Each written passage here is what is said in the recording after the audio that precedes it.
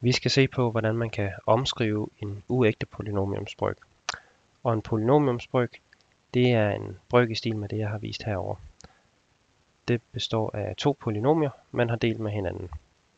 Og polynomiumsbryggen er ægte, hvis ordnen af tælleren er lavere end ordnen af nævneren. Men det er ikke tilfældet her, fordi her der har vi et led med x i fjerde for oven, altså det er et fjerdeordens polynomie, og vi har kun førsteordens polynome forneden, fordi vi kun har det her led x.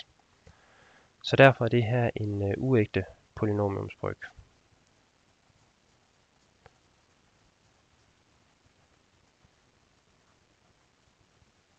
Og øh, den bryg vil vi så gerne have skrevet om på følgende form, så vi har nogle led med en eller anden konstant, lad os bare kalde den a, gange x i tredje plus b gange x i anden plus c gange x plus d plus og så en eller anden rest, der står tilbage her på den her form med x plus 2, altså den oprindelige nævner, vi havde heroppe.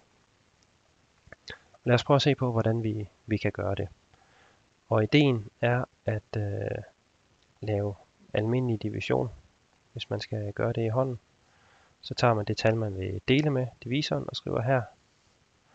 Og så øh, tager man resten af tal, eller det tal, der skal deles, og skriver herop. Og så for at øh, det bliver lettere at håndtere efterfølgende, så vil jeg gerne sætte de, øh, eller alle potenserne af x ind fra x i fjerde og ned til x i 0, eller bare en konstant. Øhm, men da de ikke indgår i den oprindelige øh, polynomie, så smider jeg den bare ind som 0 x i tredje plus 0 x i anden plus eller 3x minus 2. Og så er det ellers bare at begynde at se, hvad, hvad der går op her. Og det første tal, vi skal have fat i, det er, hvor mange gange vi skal gange x for at få 4x i fjerde. Det tal skriver vi herop. Og øh, det kan I lige prøve at udfylde og se, hvad I når frem til. Det tal, der skal stå der, det må være 4 gange x i tredje. Sådan der. Fordi hvis jeg ganger 4 gange x i tredje med x, så får jeg 4x i fjerde. Lad mig lige prøve det. 4x i fjerde her. Og så skal jeg have 4 gange x i tredje gange med 2. Det må så give 8 x i tredje. Sådan her. Så har jeg fået fundet ud af, hvor mange gange øh, den her gik op på den første plads, og så skal jeg så se på, jamen, hvad er resten herfra. Så nu tager jeg 0 minus 8 x i tredje. Det giver minus 8 x i tredje plus 0 x i anden. Og så skal vi ellers bare gentage nummeret her. Hvor mange gange går x plus 2 op i den her størrelse? Og det kan vi så skrive i den, eller på den næste plads. Og i det tilfælde her, så har vi minus 8 x i anden, så jeg skal lige have ændret farven. Så vi kan lige uh, slette den der. Så det var det næste led, vi skulle have med.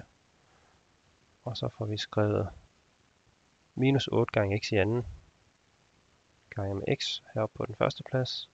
Det giver minus 8x i tredje plus, eller det bliver så minus øh, 8x i anden gange 2, så minus 16x i anden. Og så må jeg se, hvad der kommer ud af det. De to første led, det går ud med hinanden. Den her, så har vi 16x i anden plus 3x. Og nu er vi efterhånden ved at være ret godt igennem øh, systemet. Så lad os bare lige øh, tage de sidste øh, par pladser. Her skal der stå 16x. For at få, få den, det første led til at gå ud. Og så skal vi have plus 16 gange 2, eller 16x gange 2, det er 32 x, og alt det altså giver det her minus 29x. Så har vi et minus 2-tal. Og så mangler jeg bare det sidste skridt. Og den her, det bliver så minus 29. Og ganger vi den på herover, så får vi minus 58, 58 her. Og så er vi ved at være færdige. De her to tråde fra hinanden, det giver 0.